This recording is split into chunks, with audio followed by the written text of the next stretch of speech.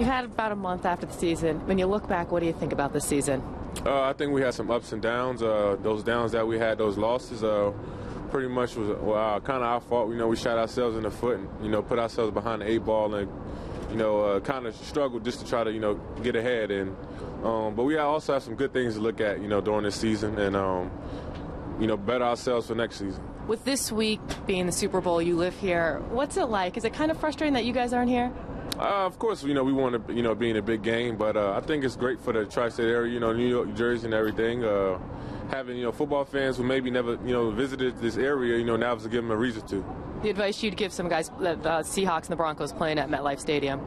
You know, it's a great field. I mean, both of them have played already, you know, there at the stadium, so uh, I'm pretty sure they're probably familiar with it. With Rex coming back, what's the one thing you guys want to do? Um, make this something, you know, make this season special coming up. Uh, you know, a lot of talk about, you know, he, he shouldn't be the coach and whatnot. Um, but myself and, I, and, my teammates, I know we believe in him, in the system, and the organization. So uh, just make it something special, pretty much.